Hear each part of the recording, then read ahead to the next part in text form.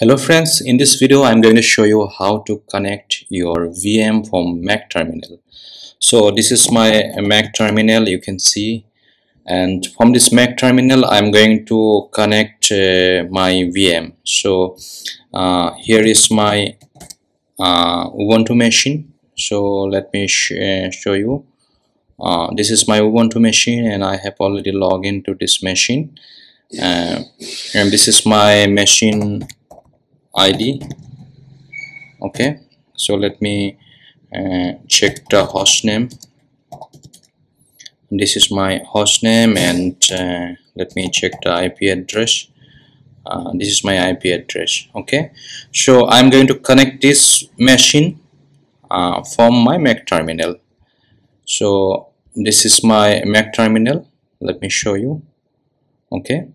So you can see Mac OS uh, macbook air okay? So uh, i need to connect it from here. So what you need to do you need to type ssh then uh, the username of your vm and then at the rate and then ip okay? 192.168.65.12 okay? So you can see it's asking me the password. I need to put the password. And then you can say i'm logging here okay so let me uh, clear it and let, let me check the host name. You can see this is the host name okay? So this is how you can connect your VM uh, from your Mac terminal.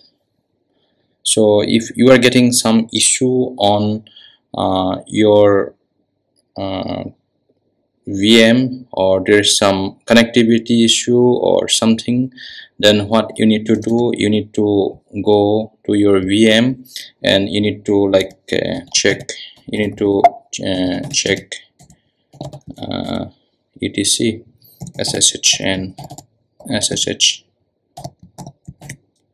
config okay? So in this file in this file what you need to do you need to enable enable port uh, 22 if in case if you get any error or connectivity issue you need to uh, make it enable. Okay? So this is how you can do that. So if you like my video please don't forget to subscribe it. Thank you